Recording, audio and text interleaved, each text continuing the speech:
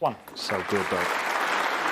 Such a high percentage of that particular shot that he gets. And he's nicely on the black now. Has he left this long red? Right of the blue he has. Oh, what a shot. One.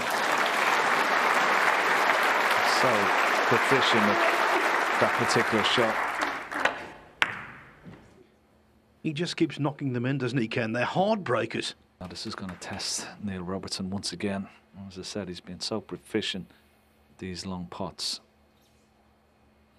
Here's another one. One. Yeah, just you,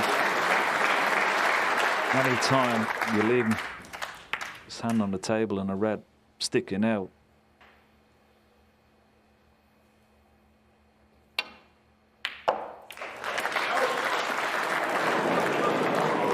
One. He's played that particular shot three or four times in this match, hasn't he?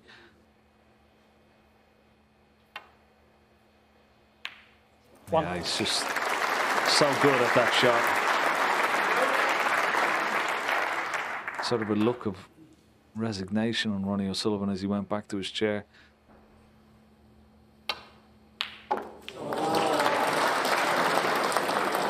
One.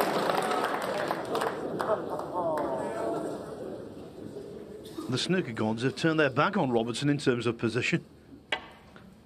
it's four or five of those particular shots, and he's still not on a colour. He's still knocking in those long Robertson. reds. One.